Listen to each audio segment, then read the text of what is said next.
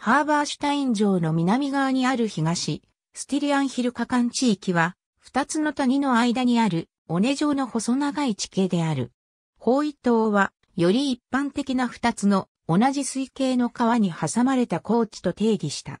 この地形は土流の一種によって形成されるが、かつての川床が河川侵食されることによって形成されることもある。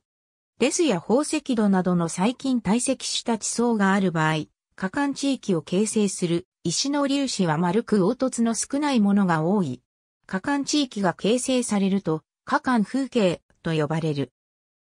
エルンストにイフ、リーデル、ダスガゼクトでアエルデ、バーラグ、ハリードイチュ、フランクフルト、M、1970、P774、ABE レーゼ、ハルトムート、エド、ブールタルブーフワルゲマイネゲーオグラフィー、13スエド、DTV、ミューニック、P766、978から3から4230342227ビデオ、ジョン、ディクショナリー・オブ・フィジカル・ジオグラフィー、ロンドン、ペンギン、1984、P275、0から14から051094、X ハットジヘルーンとエントビクルンデア、キャラクタリスティスカンリーダレンドスシャフトツビシェンダラー。